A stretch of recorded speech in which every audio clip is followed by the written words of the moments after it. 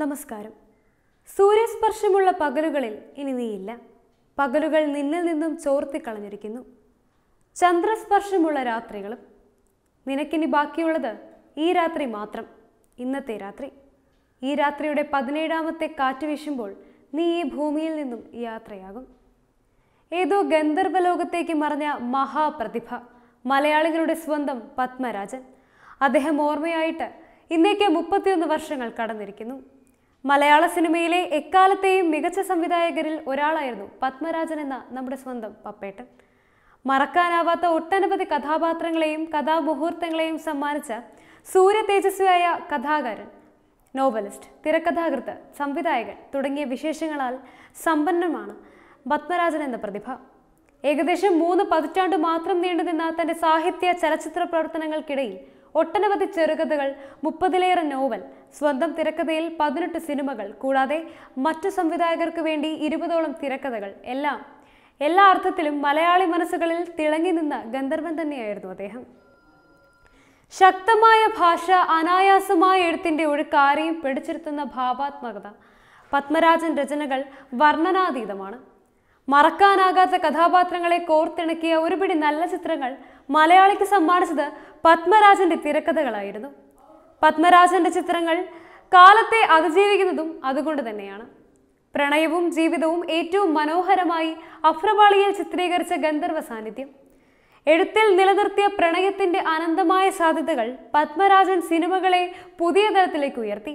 നമുക്ക് പാർക്കാൻ മുന്തിരിത്തോപ്പുകളിലും തൂവാനത്തുമ്പികളിലും പ്രണയത്തിന്റെയും കാമത്തിന്റെയും ലോലവും തീക്ഷ്ണവുമായ സന്ദർഭങ്ങൾ വളരെ മനോഹരമായി വരച്ചു കാട്ടി.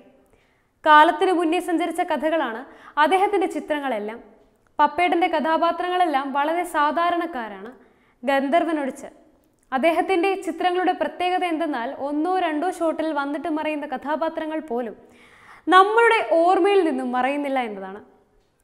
സ്ത്രീ കഥാപാത്രങ്ങൾക്ക് അദ്ദേഹത്തിന്റെ സിനിമകളിൽ പ്രധാന വേഷങ്ങളുണ്ടായിരുന്നു.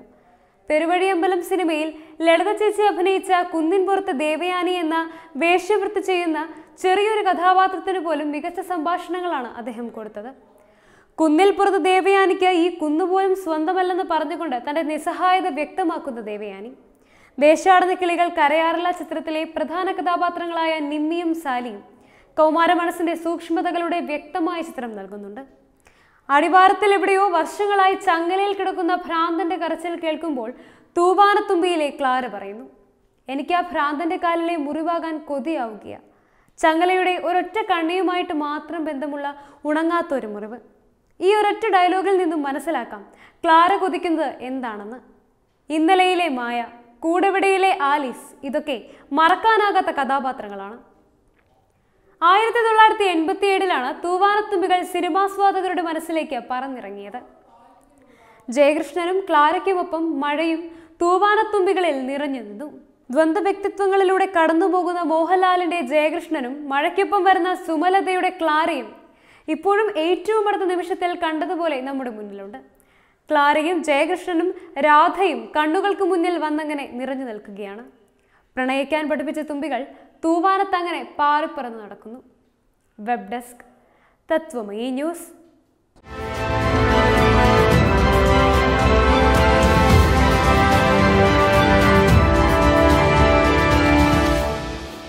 കൂടുതൽ വാർത്തകൾക്കും